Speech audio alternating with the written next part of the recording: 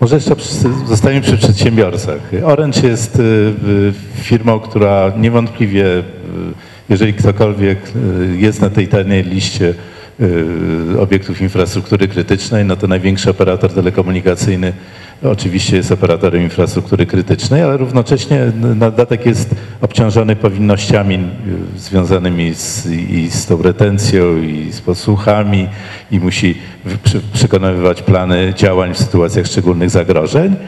Y, Ale również jest y, wie- wielką strukturą teleinformatyczną, która musi dbać o swoje własne bezpieczeństwo, ale jest również usługodawcą. Czy, czy, czy na tym bezpieczeństwie można się spodziewać, żeby, że, że, że operator ma plan, jak robić pieniądze? Witam Państwa. No cóż, nie, nie będę ukrywał, że wszystko to, co, co, co Piotrze przytoczyłeś, e, dotyczy nas. E, To, co jest nam zapisane, e, tak jak retencja czy, czy podsłuchy, o których mówiłeś, no, wykonujemy sumiennie. E, Natomiast e, no, tutaj dyskutujemy o cyberprzestrzeni. To jest obszar, można by powiedzieć, nieopisany. Jest to, jest to obszar, który nie ma granic, to już dzisiaj o tym mówiliśmy i to, że jest mowa o tym, kto wykonał atak DDoS na jedną infrastrukturę czy na drugą, to tak naprawdę nie wiadomo, kto za tym stoi finalnie. I e, rzeczywistość jest taka, że jest to ekstremalnie trudne, ekstremalnie trudne do zidentyfikowania. E, na to składa się wiele czynników, począwszy od Tora, przez, e, przez to, że te pakiety mogą być fałszowane. Jest to ekstremalnie trudne. Co na pewno możemy robić? Możemy się, możemy się w dużym stopniu chronić. Możemy współpracować i ta współpraca mu, musi być opisana. I e, dlaczego opisanie współpracy jest istotne? Chociażby z tego powodu, o którym tutaj mówił też Główny Inspektor Ochrony Danych Osobowych, przekazywanie pewnych informacji podlega ochronie tym prawem. E, Kanał współpracy z organami państwowymi, takimi jak e, policja, prokuratura, jest ściśle opisany. Tam jest to prawo do wymiany informacji wpisane explicite. E, Organy się zwracają do operatora, operator ma obowiązek zabezpieczyć te dane w jakimś tam terminie, przechowywać i udostępnić. W momencie, kiedy mamy faktycznie z rzeczywistym atakiem mm, do czynienia, to prawo w zasadzie nie obowiązuje. E, Ono nie ma zastosowania z dwóch głównych powodów. Pierwsze, nie ma czasu, żeby koledzy sporządzili odpowiednie pismo, przysłali je ścieżką formalną. Tę ścieżkę formalną my sobie odbierzemy, zewidencjonujemy, przekażemy sprawę do wykonania. To tak nie działa. W momencie, kiedy, kiedy pieniądze są z tyłu, a tak naprawdę za tymi wszystkimi aspektami mamy albo przesłanki ideologiczne, albo finansowe. E, Mówiąc o ideo- ideologicznych, no to, to mieliśmy przykład sprzed kilku lat e, akta. Patrząc teraz na to, co głównie mamy w sieci, czyli e, ataki DDoS na, na masową skalę, to są przesłanki finansowe. I zanim znajdziemy sprawca, ekstremalnie jest to, tak jak mówiłem, trudne, jest to, jest to bardzo ciężkie do wykonania operacyjnie. Operator zabezpiecza, też świadczy usługi zabezpieczenia e, dostępności serwerów. Jest to, jest to coś, co, co, jest, co jest dostępne. Natomiast faktycznie nie wynika to z zapisów polityk czy, czy, czy narzuconych obowiązków stosunku do podmiotów, e, do podmiotów e, z rynku. To, są, to, to jest część usługowa i trzeba sobie z tego zdawać sprawę. Jeśli chodzi o współpracę z innymi operatorami, ona musi zostać opisana, co jest nam dozwolone, czy co nam nie jest dozwolone. Proszę sobie wyobrazić, że w pewnym momencie mieliśmy taką wykładnię, że adres IP jest e, daną osobową. E, mając taką wykładnię, jaką mamy możliwość przekazania, że dany adres IP jest atakowany. No nie możemy. Jest to skomplikowane, jest to coś, co jest nieopisane i wymaga regulacji. Przeniesienie się do, do IP w wersji szóstej, gdzie tych adresów będziemy mieli praktycznie w każdym urządzeniu adres indywidualny, wtedy będzie to dana osobowa. Personalnie każde urządzenie będzie znane jako adres IP. Trzeba sobie z tego zdawać sprawę. Jak wtedy rozstrzygniemy y, przekazywanie danych? To jest, to jest trudne. To jest trudne z punktu widzenia legislacyjnego. Poruszaliśmy tutaj jeszcze wątek wymiany informacji o tym, mm, jakie zagrożenia są, jak, jak, czy one są duże, czy małe. Faktycznie zaimplementowaliśmy pakiet e, telekomunikacyjny. My jako operator telekomunikacyjny, naj, jeden z największych, e, sumiennie, sumiennie staramy się go wykonywać. CERT, który jest wpisany teraz e, jako, jako jednostka, która powinna zaistnieć w takich podmiotach, u nas działa już bardzo, bardzo długo. No w zasadzie wraz z e, pojawieniem się dostępu do internetu w, naszej ofercie zaistniał EBIUS, on zmigrował do CERT-u, on działa i ta jednostka istnieje. Natomiast istnieje dużo niejasności, nieścisłości związanych z tym, co powinno być e, raportowane. Jakie mechanizmy, czy wdrożenie mechanizmów w sposób globalny w całej infrastrukturze jest już ograniczeniem dostępu do usług, czy nie? Czy powinno być per każde zakończenie po, e, portem z, zgłoszone, że, że miało miejsce, czy nie? Wycięcie adresu IP atakującego z sieci. Zupełne, całkowite ograniczenie na, na, na poziomie routingu. Czy to już jest ograniczenie dostępności do usług dla wszystkich abonentów? No bo jeżeli tak, to w tym momencie każdy z operatorów bierze daną bazę klientów dostępu do internetu i raportuje do takiego punktu. Te rzeczy należałoby faktycznie w dużej mierze doprecyzować. One muszą być ściśle określone. E, jasne. W inny sposób niestety będziemy często mieli do czynienia, może poza tymi największymi zdarzeniami, gdzie faktycznie duże brandy znikają z sieci albo tracą dane, bo są publikowane, czy to w przypadku e, podmiotów telekomunikacyjnych na Telepolis, czy na Niebezpieczniku, czy u innych kolegów, to prawdopodobnie nie będziemy o tych zdarzeniach wiedzieli nic, albo nie wiadomo, czy powinny zostać zaraportowane. W związku z czym e, materia, którą staramy się uregulować, jak jest przesłanie, ona jest ekstremalnie trudna do uregulowania. Czy możemy w prawo wpisać e, rozwiązania technologiczne, które powinny być e, wdrożone, żeby zabezpieczyć interes w sposób globalny? Raczej nie. Dlaczego? Gdyż świat bezpieczeństwa niestety jest o wiele szybszy i wiele szybciej będzie reagował niż to, co my jesteśmy w stanie wytworzyć w formie dokumentów. Natomiast to, co na pewno y, możemy uregulować, to zasady współpracy i na to powinniśmy położyć szczególny nacisk, bo każdy, czy to operator, czy podmiot y, y, na rynku, który będzie brał udział w, w, takim, w takim zdarzeniu, na bazie takiego dokumentu będzie się mógł do niego za, zaangażować do akcji i podjąć działania. Sam z siebie tego nie zrobi, to w tym musimy mu pomóc. Niestety. To, to ta wiedza, którą my mamy jako operatorzy e, w zespołach, czy tak jak u kolegi tutaj z NASK-u, doskonale wiemy, że taki zespół też istnieje, czy u innych operatorów, tak naprawdę to powinno być implementowywane, te zasady współpracy w prawo. E, żeby je formalizować i żeby umożliwić sobie możliwość reakcji, bo tak naprawdę to, co chcemy w tym prawie zawrzeć, to umożliwienie reakcji, umożliwienie zareagowania w sposób zgodny z literą prawa polskiego. Dziękuję. Y, je- jeżeli jesteśmy w tej sferze technicznej no, tu, i takiej współpracy, raportowania y, informacji o incydentach i zagrożeniach, no tu, tutaj ścieżka została jakby zarysowana, musimy zdobyć doświadczenie, mamy, mamy jakby nowe rozporządzenie w tej kwestii. Ale tak naprawdę była już mowa o drobnych złośliwościach, jakie sobie na rynku konkurencyjnym przedsiębiorcy świadczą. A Tomasz Aleksandrowicz, zapytam Cię, ale przecież tak naprawdę gra konkurencyjna idzie o większe sprawy. Te zagrożenia gospodarcze mogą y, służyć grom pomiędzy poszczególnymi państwami. Kto się tym tak naprawdę powinien zajmować i gdzie ta współpraca powinna zostać zarysowana? Dziękuję bardzo. Słuchając Pana wypowiedzi, jestem już pewien, gdzie tkwi problem. Otóż po pierwsze mamy do czynienia z zupełnie nową płaszczyzną, czy z zupełnie nową przestrzenią, jaką jest cyberprzestrzeń, przestrzeń, przestrzeń, funkcjonowania. Po drugie mamy do czynienia z zupełnie nowymi warunkami, w jakich funkcjonuje współczesne państwo, y, które pozostając podmiotem odpowiedzialnym za bezpieczeństwo narodowe, przestaje mieć jakikolwiek wpływ na szereg czynników, które to bezpieczeństwo warunkują. E, No i po trzecie wreszcie y, usiłujemy zastosować do tego stare mechanizmy.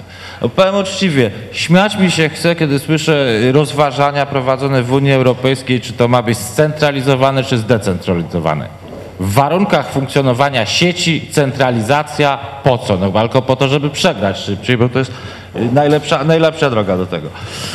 I teraz kto powinien za to odpowiadać? Oczywiście państwo. Podmiotem bezpieczeństwa narodowego jest państwo i nikt z państw, państwa z tego obowiązku y, nie zwolnił. Podobnie jak nie zwolnił y, z obowiązku ścigania przestępców, którzy rozwalają szybę w oknie i wynoszą trzy zegarki.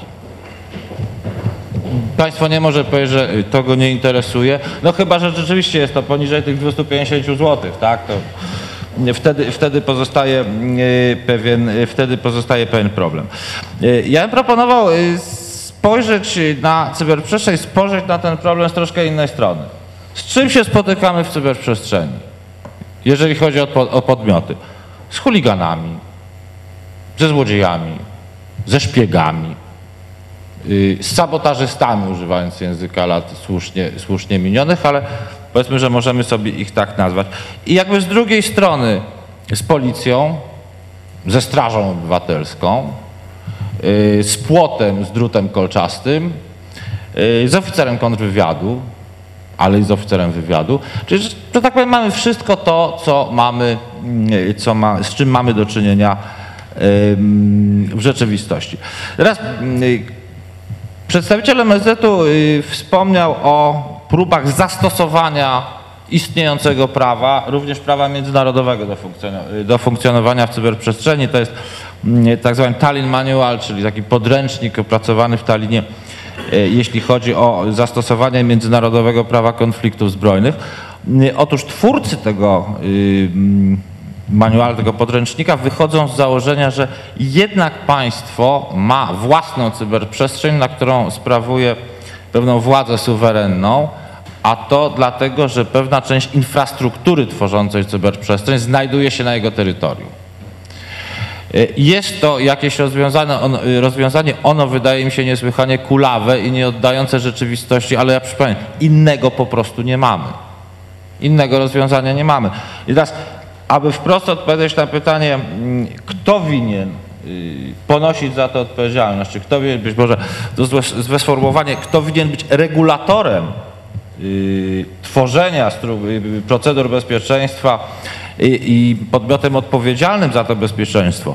Niewątpliwie państwo.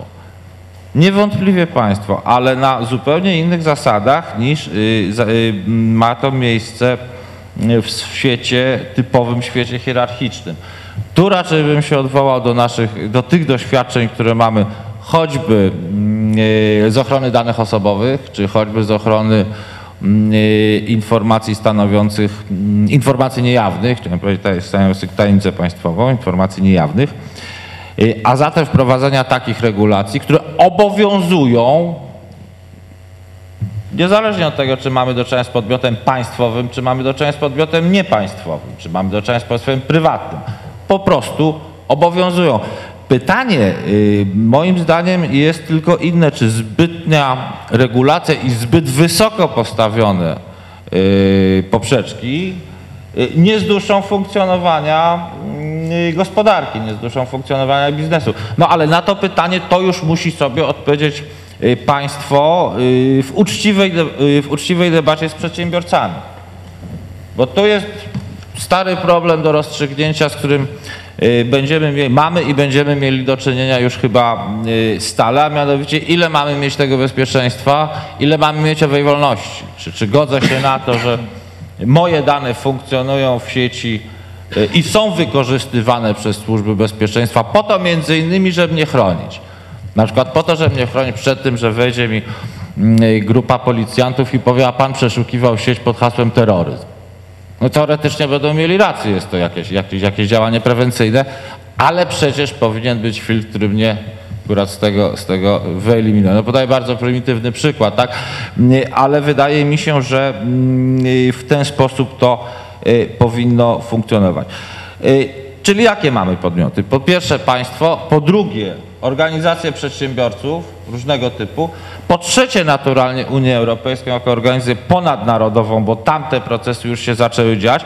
Tylko znów y, niech mi wolno będzie na marginesie wspomnieć rzecz taką, jaki jest w tej chwili problem y, w Unii Europejskiej, który trzeba jasno postawić, jeśli chodzi o tą kwestię. Otóż jest to kwestia mieszcząca się, y, używając starej nomenklatury, tak na dobrą sprawę w trzech filarach. Bo część jest tutaj integracja gospodarcza, tak? Część to jest przestrzeń wolności, bezpieczeństwa i sprawiedliwości, gdzie za chwilę będziemy mogli stosować wszystkie instrumenty prawotwórcze, ale część to jest y, wspólna polityka zagraniczna bezpieczeństwa, gdzie obowiązuje model współpracy międzyrządowej. O żadnych aktach prawotwórczych mowy być nie może. Możemy najwyżej spróbować ustalać y, strategię. I na zakończenie, y, dobrze, że pan minister Wiewiórowski podniósł tę kwestię przyjmowania czy ratyfikacji konwencji dotyczących y, różnych sfer, y, także i zwalczania cyberprzestępczości, bo ja sobie przypominam sprzed paru lat takie spotkanie dotyczące ratyfikacji konwencji SPRIM. A przywołuję ją dlatego, że konwencja y, SPRIM w trzech czwartych to jest właśnie przekazywanie danych drogą elektroniczną, przekazywanie danych cyberprzestępczości. No jak wówczas usłyszałem, stwierdziłem, że jest żaden problem, wystarczy tylko wtyczki ze sobą spasować, żeby, żeby mogły się połączyć, żeby dane mogły płynąć, to pomyślałem sobie, że życzę powodzenia w ochronie tych danych, bo Tyle tylko, tyle, tyle tylko mogłem powiedzieć. Y, Także podsumowując, oczywiście państwo, ale we współpracy i z przedsiębiorcami, z organizacjami przedsiębiorców i, i z Unią Europejską jako organizacją ponadnarodową. Dziękuję.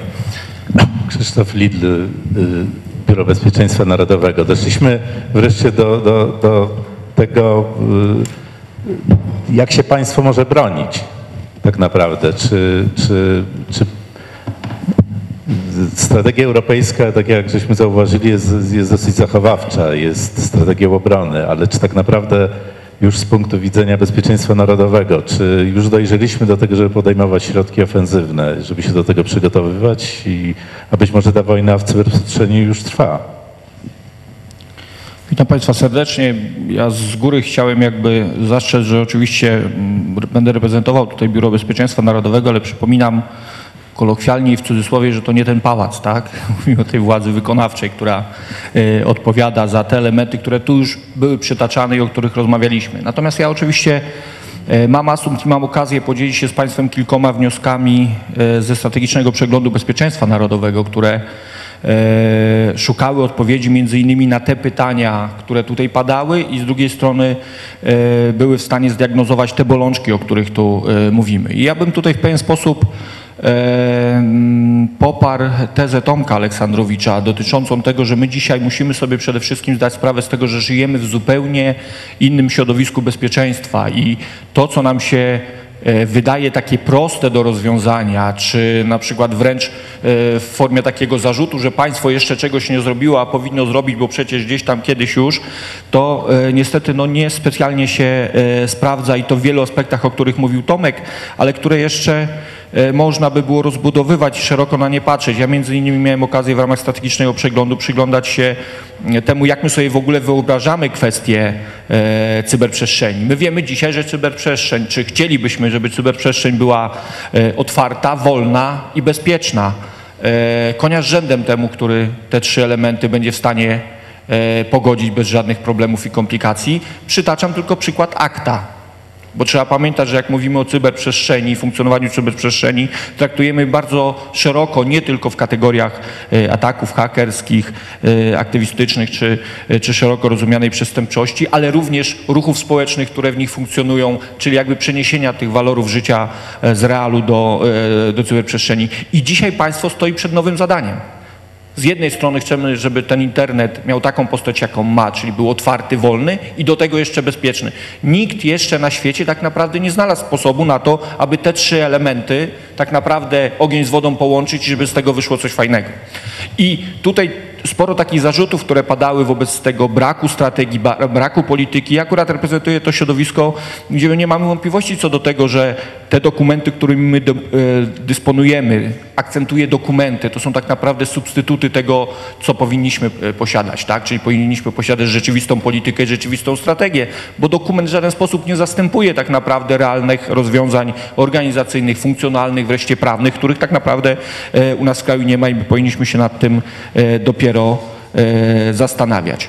Dochodzi jeszcze jeden element do tych regulacji, czyli do tych rozwiązań, a mianowicie to, co między innymi Unia Europejska podnosi w swojej propozycji, a mianowicie, że my chcemy aby w cyberprzestrzeni były przestrzegane te same wartości, które są przestrzegane w realu, czyli prawa podstawowe, wolności obywatelskie, swobody, e, prawa człowieka, mało tego, prawa konfliktu. Dzisiaj się już zaczynamy zastanawiać, czy na to może na podstawie artykułu 5 reagować, czy nie. I to najbardziej tęgie e, głowy, jeżeli chodzi o rozwiązania prawa międzynarodowego, wewnętrznego, nad tym się zastanawiają i nie mają jednolitego, e, jednolitej odpowiedzi na te, e, na te pytania.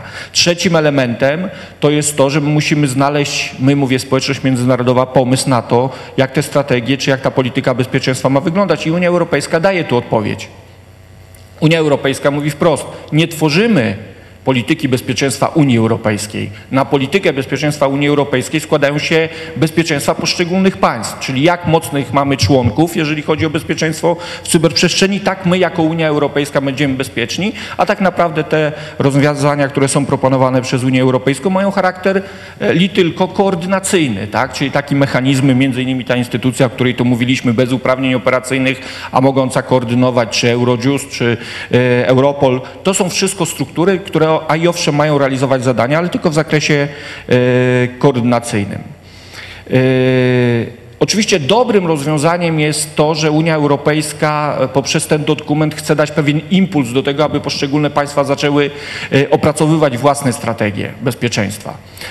Ja miałem okazję już w ramach swojego doświadczenia z pracy w administracji kilkakrotnie brać udział w takim pomyśle na to, bo Unia Europejska bardzo często robi to, co też tu było przytaczane, tak? czyli robimy misje ewaluacyjne, e, patrzymy, co poszczególne państwa w Unii Europejskiej wymyśliły w danym zakresie, tworzymy tak zwane dobre praktyki, tak? dajemy rekomendacje, pokazujemy te złe, a potem wy sobie z tego wybieracie i robicie, e, co chcecie, jeżeli chodzi o stworzenie tych swoich, e, swoich e, polityk. Ale istota polega na tym, że Unia Europejska dzisiaj daje nam sygnał. Musimy stworzyć takie strategie i znowuż my możemy narzekać na to, że nie mamy wypracowanych mechanizmów, ale musimy pamiętać, że te państwa, które wypracowały, wcale nie twierdzą, że mają doskonałe rozwiązania. Ktoś tu przytaczał.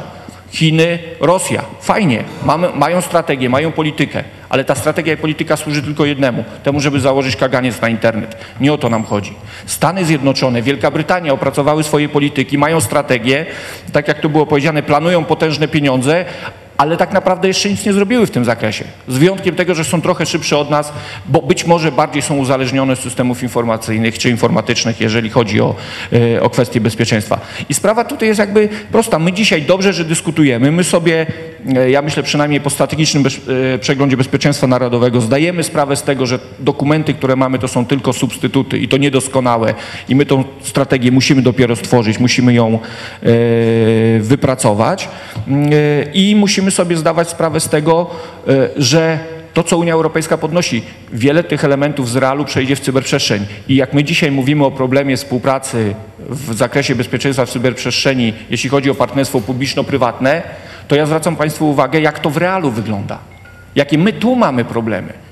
Armia nasza nie jest w stanie zrealizować żadnego przetargu z różnych względów, bo procedury mamy skomplikowane, bo kadra niewykształcona, bo, nie, bo budżetowanie mamy roczne, a nie takie jak na przykład w Stanach Zjednoczonych, gdzie dwa lata rozliczamy budżet i jest więcej czasu na realizację. To nie jest tak, że dzisiaj cyberprzestrzeń jest jakimś takim wyjątkowym elementem, który funkcjonuje. To, co mówiliśmy tutaj, nie mamy wypracowanej strategii, a mówi się od, u nas w kraju od lat, że Polska nie ma wypracowanej myśli strategicznej. My nie jesteśmy, nie jesteśmy państwem, które w zakresie bezpieczeństwa, ale nie tylko, wypracowało swoją szkołę myśli strategicznej, gdzie jesteśmy wypracować. My jesteśmy dopiero tak naprawdę e, na początku drogi. Dlatego wydaje mi się, że e, istota ma polegać na tym, że my dzisiaj nie mamy wątpliwości co do tego, my państwo oczywiście, że to co powiedział Tomek, tak, że to nikt z państwa nie zdejmie tego zadania. To jest podstawowa rzecz, jeżeli chodzi o, o rozwiązanie tego bezpieczeństwa. Musimy sobie zdawać sprawę z tego, że to jest trudne zadanie, bo tak naprawdę to jest zadanie, które dopiero uczymy się rozwiązywać, tak? Czyli szukamy drogi do rozwiązania. To nie jest tak, że możemy na przykład na zasadzie, yy, żeby nie wyważać otwartych drzwi, wziąć jakieś rozwiązania z innych państw, bo my między innymi w ramach strategicznego przeglądu mieliśmy okazję analizować właśnie propozycje rosyjskie, amerykańskie. W wielu aspektach to są propozycje nie do przyjęcia. Z punktu widzenia chociażby e, tych głównych wytycznych Unii Europejskiej, jeżeli chodzi o, o te podstawowe elementy, że internet ma być otwarty, wolny jeszcze do tego bezpieczny. I tak dalej, i tak dalej. Więc myślę, że, e, że dobrze, że takie spotkania się, mm, się odbywają. Dobrze, że, że tego typu inicjatywy się e, odbywają. Jednym z wniosków, między innymi w strategicznym przeglądzie bezpieczeństwa narodowego jest to, że jeśli chodzi o podmioty czy płaszczyzny, które mają być zaangażowane w stworzenie pewnej polityki bezpieczeństwa w cyberprzestrzeni, to mm, y, bezwzględnie będą to trzy elementy. Sektor publiczny, sektor prywatny i trzeci sektor, który nazywany jest również przez Unię Europejską tym sektorem społeczeństwa obywatelskiego, czyli tych organizacji pozarządowych, fundacji, tak jak tutaj mamy dzisiaj przykład. Czyli taki trzeci element, który do tej pory tak naprawdę niespecjalnie był wykorzystywany w pracach nad, nad różnego ro- rodzaju e, strategiami. I żeby była jasność, tutaj nikt nikomu nie robi łaski. To nie jest tak, że państwo będzie się prosiło od sektora prywatnego, powiedzcie nam, pokażcie nam. Państwo stworzy pewne regulacje, a, a rynek ureguluje nam całą resztą kwestii. To nie jest tak, że ktoś komuś będzie e, musiał coś dawać, czy ktoś komuś będzie musiał za, zabierać. Państwa rola to jest przede wszystkim wypracowanie polityki, wypracowanie strategii i rozwiązań prawnych.